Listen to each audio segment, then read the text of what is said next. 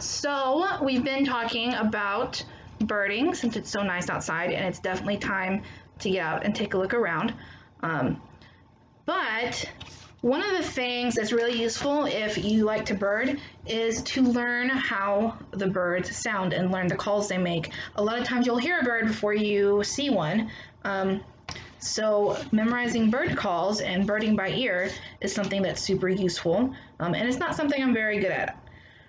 But I have a little recorder thing here, and I wanted to play you guys some of the bird call be hearing in your backyard. Since we really can't go anywhere during quarantine, backyard birding is a super awesome option.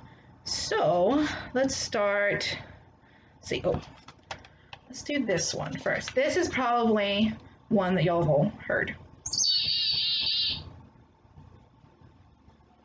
Oh, there it goes. There it goes again. That is right there, the black cap chickadee. Right, that's our state bird, by the way. All right. Um, oh, here's another one that's probably pretty common right now.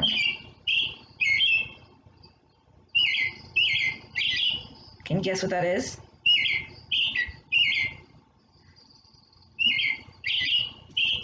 That is the American robin. We're starting to see more of them out.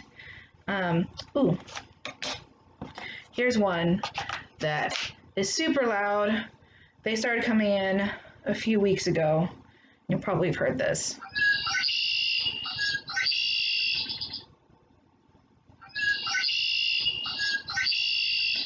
That is the red wing blackbird. Super loud bird, super obnoxious. They're actually one of my favorites, even though they can be kind of annoying. All right, I want to show you guys one more before we go. Do y'all know what a bald eagle sounds like? All right, I'm gonna play you the bald eagle call, and y'all can see.